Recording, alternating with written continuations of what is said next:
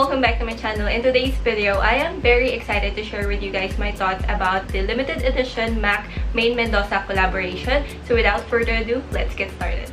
Okay guys, so as we all know, this was trending and super in demand. In one minute when they launched it from Lazada, this was sold out. And I'm very happy to get one so I can share with you guys my thoughts about it. So let's start off with the packaging itself and it looks like this. Ayan. May main na nakalagay dito which is her signature, I assume. And then the lips here. And as you can see, it's in nude for the packaging. But when it comes to the lipstick itself, I must say that they have the original form of the MAC lipstick that they have, which is yung bullet form. So, ganito talaga yung itsura ng mga MAC lipsticks nila. And at the bottom, it says the shade, like other lipsticks from MAC. The shade is Main BCM. So, yun, A58. So, this is what it looks like, normal lipstick from MAC. But the shade, I must say, it is peachy nude nga as what they described.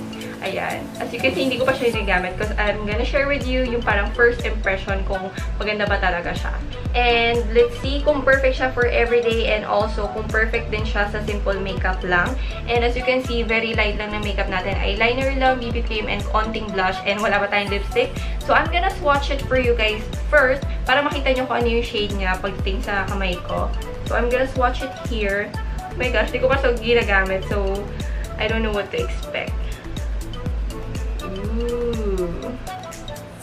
Ang ganda ng color niya kasi parang peachy nude nga. Peachy nude nga, diba? Peachy nude. Ganyan yung color niya, guys. On my hand, peachy nude. Very smooth lang nung gin-light ko. Yung kung may bibilin kayo sa MAC or kung may advice ako, mawa, may gusto ko yung bilhin sa MAC and I know they're kind of pricey, it's always the lipstick. By the way, guys, the scent of this one is same with the other regular lipsticks from MAC. Yun yung scent niya, which is very nice and I super love the smell of it.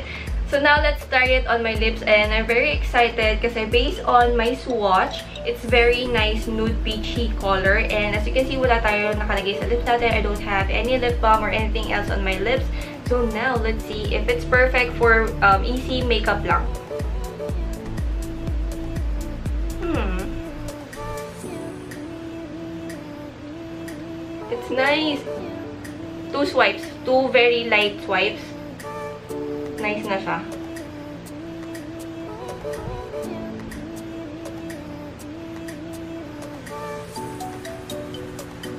Hmm, I am surprised with the color. I love it.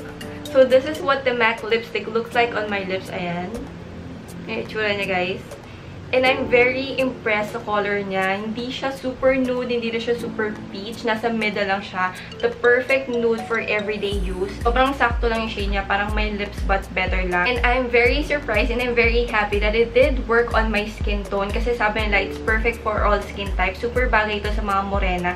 And na-surprise ako na bagay din siya sa akin. Ayan o. Oh perfect peachy nude color.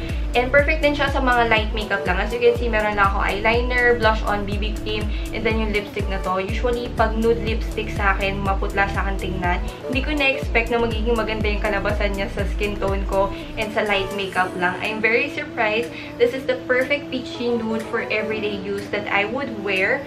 I know, the formula, very MAC formula. Same type of formula, same type of smell. And I'm very surprised na 1,100 lang pala yung presyo nito guys ha. Kasi yung mga MAC lipstick, yun talaga yung usual price niya, 1,100.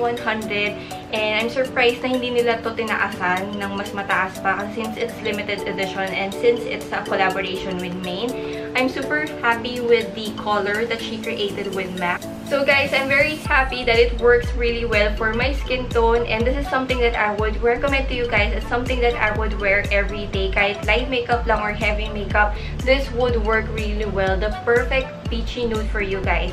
I know madaming ka-shade to sa MAC lipstick. There's Velvet Teddy, there's Mirror, or other shades from MAC. Kasi nga sobrang dami nilang variations. But this is limited edition and this is the first Filipina who collaborated with MAC. So this is something that you should have. So if you wanna guys check this out. Pumunta na kayo sa mga MAC stores or outlets kung meron pa. I heard na sold out na talaga siya sa lahat. Kasi parang limited lang talaga siya, guys. So, this one, I am very happy that I purchased it and something that I can share with you guys. This lipstick, no wonder it is sold out everywhere. It's something that you should have. It's perfect for everyday use. It's perfect for all skin types and it has the perfect shade of peachy nude. So that's it for today's video, guys. Thank you so much for watching, guys. I'll see you again on my next video or vlog. Bye, guys!